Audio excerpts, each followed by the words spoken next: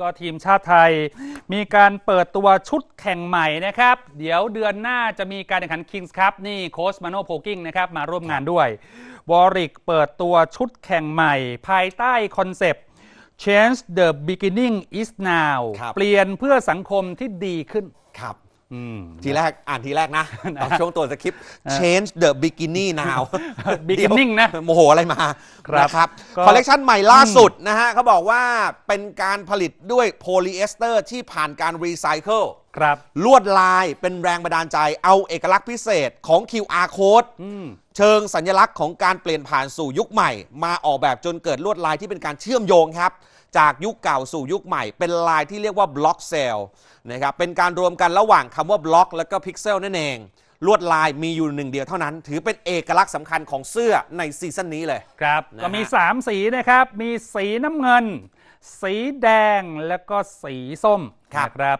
ก็จะเปิดจำหน่ายทั่วประเทศในทุกช่องทางการจัดจำหน่ายของวอริกนะครับ ครับ ก็พูดถึงทีมฟุตบอลทีมชาติไทย ซึ่งเดือนหน้าจะมี Kings Cup ล่าสุดวันนี้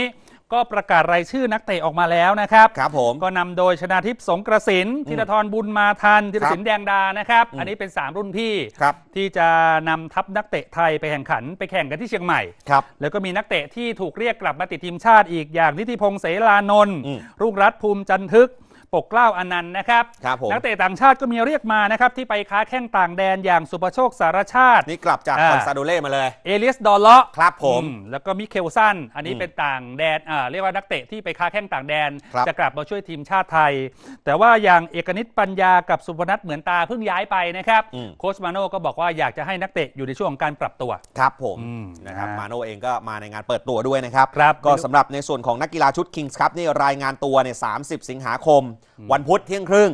นะครับแล้วก็จะฝึกซ้อมที่สนามยามาโอกะฮานาซากะ แล้วก็ไปเชียงใหม่ก็คือ 4 กันยายนครับถ้าหากว่าจะไปเชียร์นะครับอืมกับการแข่งขันในครั้งนี้